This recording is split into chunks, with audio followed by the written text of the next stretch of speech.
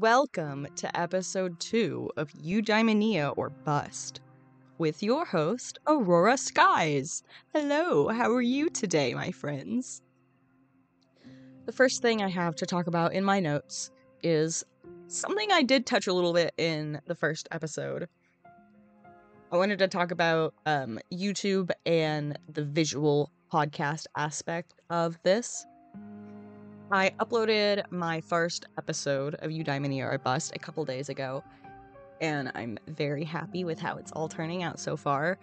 There is one downfall that sucks, but I'm not gonna let it like take me down because I feel like I could give up right now. Uh, I feel like I could probably give up because it's kind of demotivating. But the very first episode, I had did all my visuals and everything after I did the audio, and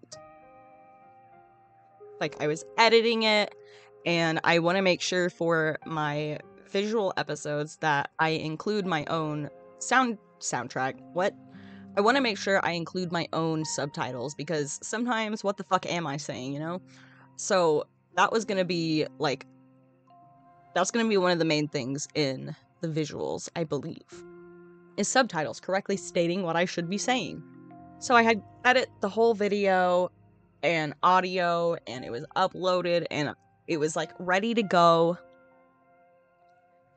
But then like well, well the upload the audio part was uploaded and everything but i'm also researching like rss feed and all that kind of stuff and um all the different platforms that you can have your podcast on and the different ways to put it on. Girl it's a lot let me tell you all right so thank god i had saved the first episode because like after I had edited it because my dumbass went through and deleted a bunch of shit because I was trying to make space on my computer for a bunch of Sims 4 mods that we're not going to talk about right now. Um anyway, podcast, I deleted a bunch of videos and I accidentally deleted like the raw core file of the audio and it misplaced it in my editing software, so that fucked it up a lot because I could not figure out where it went on my computer for the life of me. It literally, like, I tried it all. I really did. And I didn't recover it. but luckily, I had it saved in another format, so I was able to go back and I didn't have to re edit the first episode. Let me tell you, if I would have had to edit that episode twice, I probably, we probably wouldn't be here right now. But I'm not gonna let it get over me to I'm not gonna let it control me or my wants. What? But it just sucks because like that was kind of a problem, so that was really annoying. And then I got that sorted out and then I went to go export my subtitles and they were beautiful and my visuals were great and I was a big fan of how it all looked. They, they kept being export problems. And it was like because I still had like missing files and stuff. But it doesn't matter because I haven't uploaded it yet. I don't know if I will upload it right now. In the future, it someday will be uploaded, re uploaded with subtitles for visuals. But I'm not going to worry about that one right now because I have completely done everything I can editing wise and it's literally done. It's just my dumbass can't figure it out. So once I can figure that out, there will be a visual for the first episode. But I am going to try and just go on and do the visuals with this episode as well. I think it might be a little bit easier um, once I get distributed on different platforms. I'm not going to lie, uploading to like podcast stuff and different websites is a lot easier than I thought it was going to be. If I knew it was this easy, I like maybe would have done it a little sooner. I don't know. It's just, I just think it's crazy that um because I was able to distribute my first episode of Eudaimonia or Bust. And it is available on most platforms, such as Spotify, YouTube, YouTube Music, Apple Podcast, Google Podcast, Castbox, Amazon Music, and even iHeartRadio. I have not seen the words iHeartRadio in a very long time, but hey, I have a podcast on it now, so ta da! Cool. Also, I have a Discord if anyone is interested in joining. I am. I'm not really ever in it, but I do hope to get back up to being more on the internet and like in the social, like the in the digi- on the web, on the web. I miss being on the internet. I think that might be a good. So I I don't know necessarily when to talk about this story, but I feel like maybe perhaps I should now. Um I don't know. I guess we'll see. I say that a lot, I've noticed. So, okay. Well, before I do before I go over this story, let's see if we can find anything fun um, in my philosophy notes. For the little bit of philosophy we're going to do today is I'm going to explain a little bit more in depth about the word eudaimonia as just a little bit of a refresher of what the hell that means. So eudaimonia is the ultimate goal or meaning of life in theory, which comes out to living well and living a good life. The thing with eudaimonia though is if it has to depend on other things or other people, then it's not yours. If you're letting other people and scenarios control your emotions and how you react to it, eudaimonia is something that you should wish upon everyone, even if they are your enemies, as Aristotle would say. We're going to pause right there on philosophy for the episode because I don't even know if anything I just said made any sense, to be honest. So I'm gonna have to go back and edit, and I might just cut it all out. Who knows? But maybe, uh, maybe I can salvage it. I wanted to add a new segment of the episodes where I talk about my favorite current music of the time of the recording of this episode. And in my episode two notes, it's funny because like the three songs I was listening to I have on there aren't even the same three that I am like going that I have on repeat right now. Um, which just goes to show maybe I need to start filling things a little quicker. But that's a problem on me. The notes in here for this episode, however, said that the music of the ep should be they I guess they were they're still new. Yeah. Yeah, well, right now I can't get it out of my head but I am obsessed and have been obsessed with Please Put Me in a Medically Induced Coma by Carol's Daughter. I think it is an absolute banger. Motherfucking bop, bitch. Also got Houdini by Eminem on repeat. Kind of a banger, not gonna lie. Also listening to a lot of Billie Eilish right now as she recently released an album.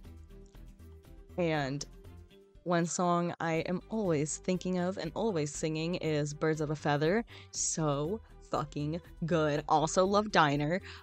They're just, all of them are so good. Everything that woman produces is like gold. It's just so good. She's so good.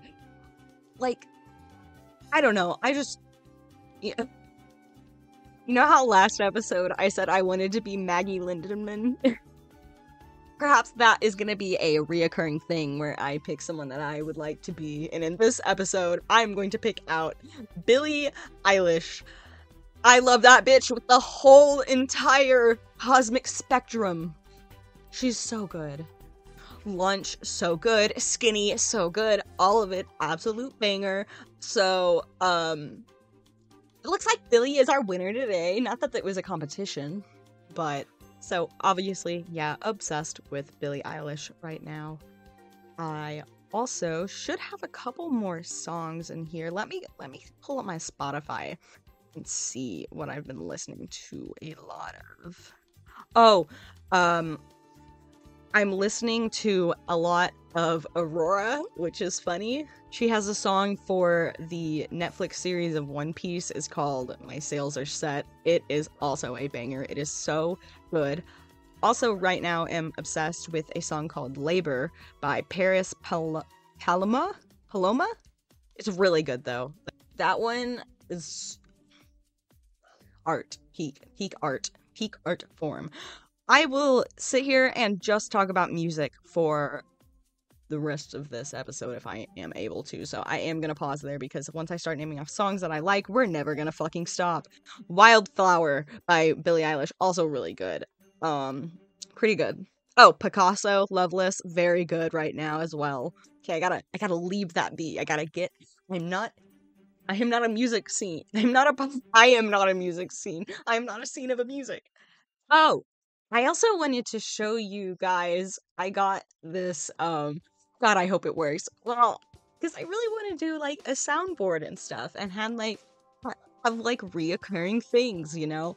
Um, so I got something to try and do that, and I'm like kind of low key, high key limited to certain stuff. But wait, okay, I'm gonna turn this on, and is it is it working? I hope it's working. Should I should I have it where I can wait? If I have it where I can hear myself, can, myself, can, can you can also, you also hear me? hear me? Yes. Yes. We are going to turn that off for right now. There's just some good some really good like noises in here, you know? Um there is uh this one I thought was good. Imaginary technique. Fish. Fish. It's really fucking funny for whatever reason. There's also this one and it was just called Sukuna Oil. Have you ever thought about oiling yourself up for me? Um Oh, I think I'm supposed to have other stuff though on here. I think. Oh, I do have. Oh, this one. This will stay on the soundboard. I don't give a fuck what anyone says because this absolute banger. Rats, we're rats.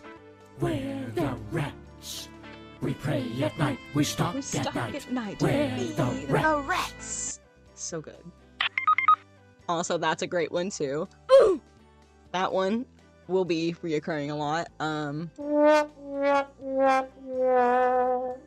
There's also this magical chord one, and I can't hear it right now, thank God, because it would be really annoying, and I hope it's working for you. If not, I sound insane.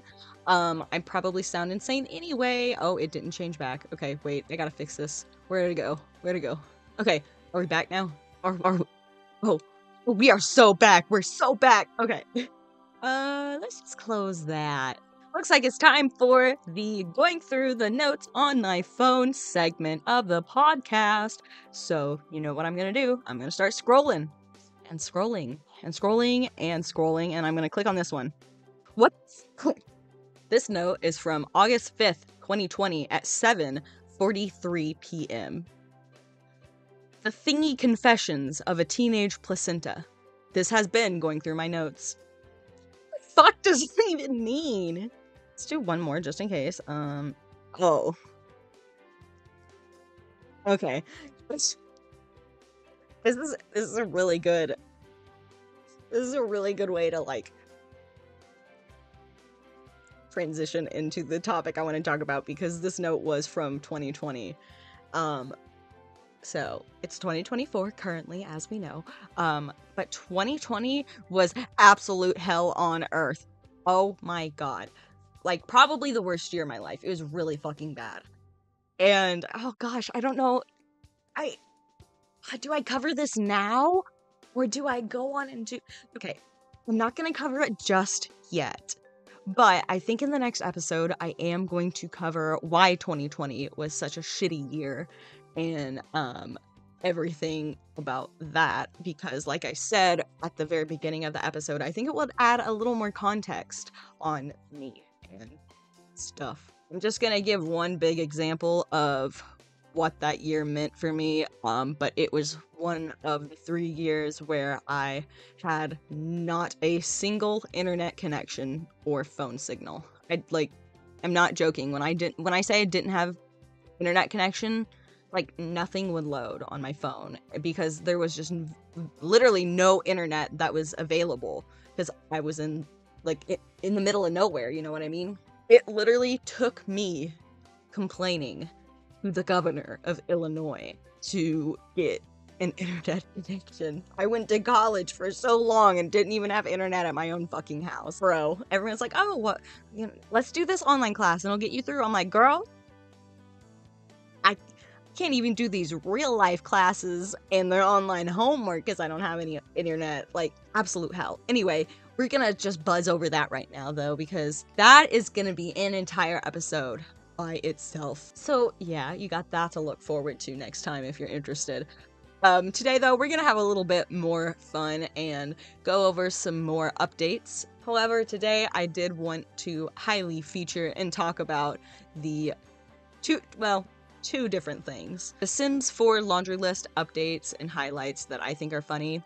I also am not going to be limiting myself to just the Sims games and their patch updates because, oh my god. So, Baldur's Gate 3. I don't even know where to begin. Let's go on and which one should I do first? We'll be back to Baldur's Gate because there are some pretty hilarious Baldur Gate, Baldur Gate? Baldur's Gate update and patch notes that they just they really need to be talked about honestly. But now we are going to be focusing on a uh, I think it's one of it's probably a couple a couple patches back. I don't it, it's from 6624. Wait a minute, did I talk about this last time? Oh, okay, this isn't actually. Mm, never mind. This episode, I'm going to be covering the Baldur's Gate update. It is update number 24. Let me just say, love Larian. Love, love, love.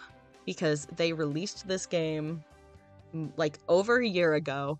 They are still updating it they released this game like way over a year ago and they are still updating it and adding new things and like features that people want and you don't have to buy like DLC or anything. And it's just so good. It's so good. So one of these patch updates I wanted to talk about. This is a patch update on the Dark Urge bug fixes. I played the Dark Urge whenever I did my first run of Baldur, my first complete and so far right now my only complete run of Baldur's Gate was with my Dark Urge character. So much fun. Oh my god. Anyway, there the this is the patch note updates however and bug fixes for the Dark Urge.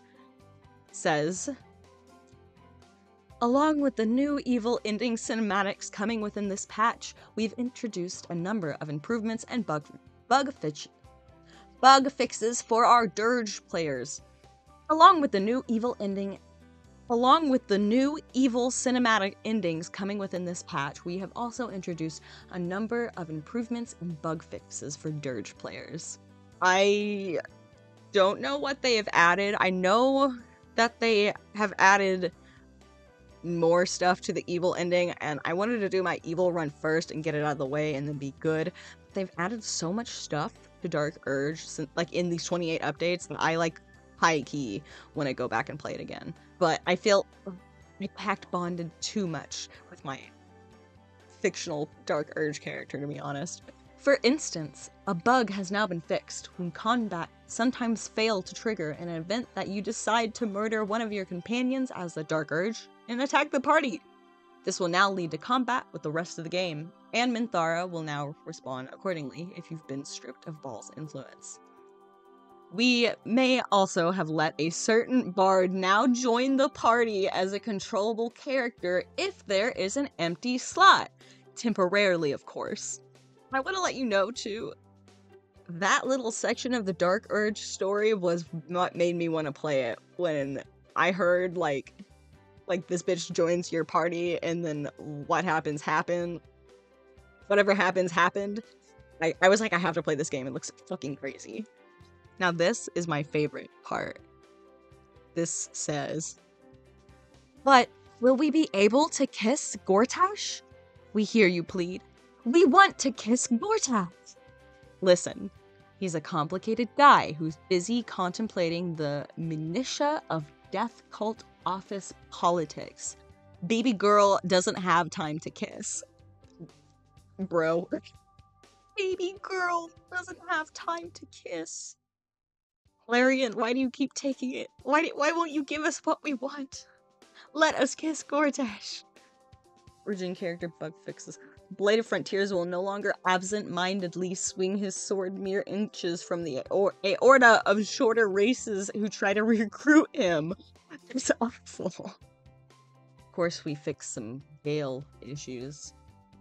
It looks like they added a bug fix that if you deny Gale a magic item three times in a row with magical items on your person or in your party's inventory um, or your chest, he will straight up leave. Whereas you can also just say, I'm not giving you anything, not now, ever, or ever, and it will cause him to leave your party, which he really would have left my party a whole lot earlier in my Durge run if that was implemented then, because I told that bitch no every single time. Every single time. We've also patched up a bug that was preventing the final dialogue between Gale and Mystra from triggering, as well as a scene in the end game that would cut off before you could kiss. How terrible. Looks so cool. I want to go back and play Durge, I'm not gonna lie. So good. Also, I just think it's awesome that Larian is working with the mod community eh, with this game. That is really, really awesome.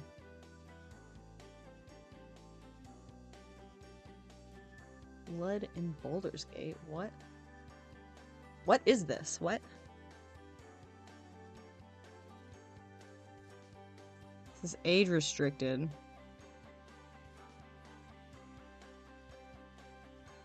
What is this? In the shadows of the lower city streets, a darkness grows. It begins with a scream. Murder.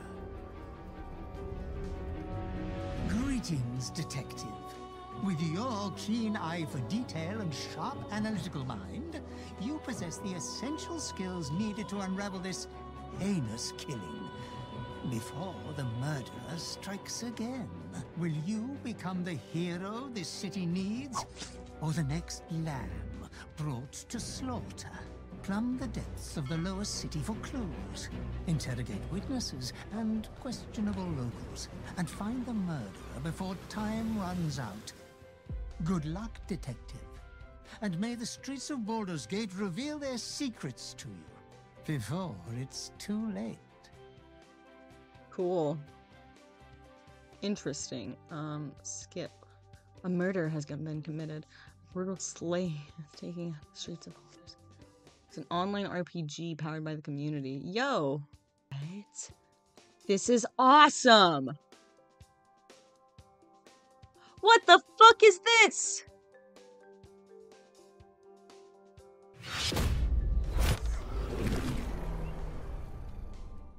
Destiny calls to you from inside the cave. A place where paths converge and answers lie in wait. Remember, detective, the threads of fate are delicate and can be severed with a single sharp cut. A dagger thrust clean through the skull and into the soft meat of your brain renders you instantly paralyzed. Fatal blow, you conclude, in the moment it takes you to slump to the floor. Through blurred vision, you strain to catch a glimpse of the shadow that descended on the city. But your eyes can only see darkness around you now. A darkness Okay, so- that devours innocence. That's so cool. darkness that will kill again.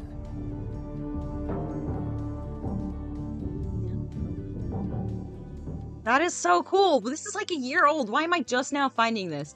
What the fuck? I need to get away from this though, because I will do this all day. I need to not get back into Baldur's Gate. That's what I need to do. Um, that's all for today. I hope you enjoyed this episode of Eudaimonia or Bust. I hope that you have a lovely rest of your day, and I will hopefully see you next time. Have a good one. Bye, besties. Peace out.